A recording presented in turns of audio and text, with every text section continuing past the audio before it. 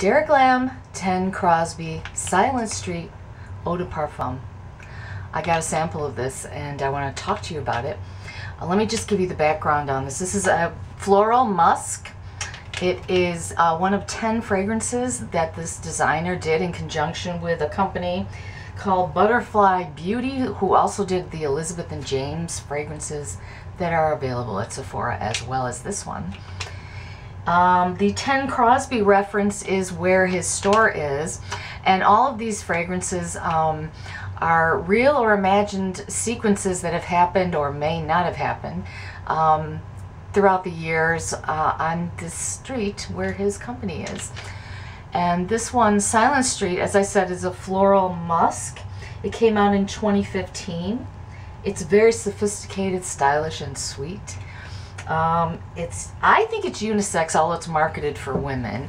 I think it's a very superior blend of musk and white florals.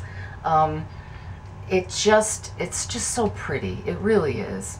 To me, it's it's a summer fragrance, which is why I'm kind of doing this now, uh, a video now. But um, to the designer, this is a winter moment that he had, and um, the purity of the musk, the essence of the white musk is what he's all about in this particular fragrance. Um, and it is beautiful, it really is.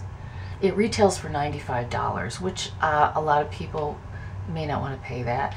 I think that um, if you contrast it, which I'm about to do, with the drugstore version, which is way different. It's It's got the same white musk base, and a lot of you will know this, Jovan White Musk. It's a floral white musk, but it's very metallic, it's very harsh, it's very hairspray.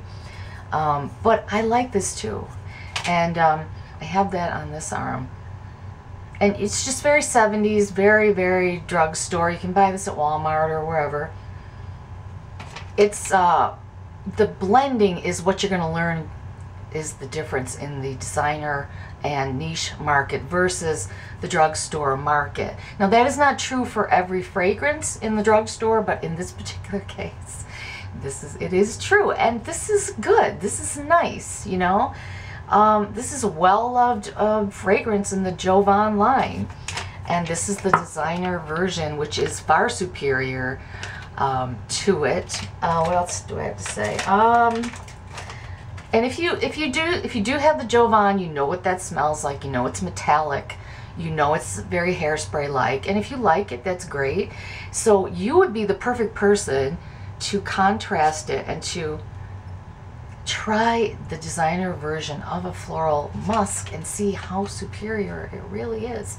And even if um, you don't want to pay 95, you could get a sample and try it out because it is beautiful and, and it's stylish, it's sophisticated.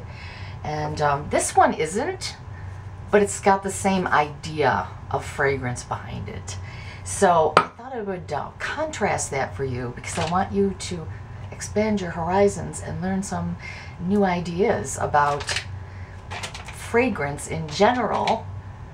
This is really pretty. Now there are going to be people out there that don't like it, that, that, that just don't smell anything but this. I'm sure they're out there, but I can tell you if you do them side by side, you will you will see the difference. You will smell the difference. Um, you will appreciate the difference, and that's what I'm trying to get at, I guess. This is beautiful. I can't wait to try his other fragrances, the other 10, and see what I think of them.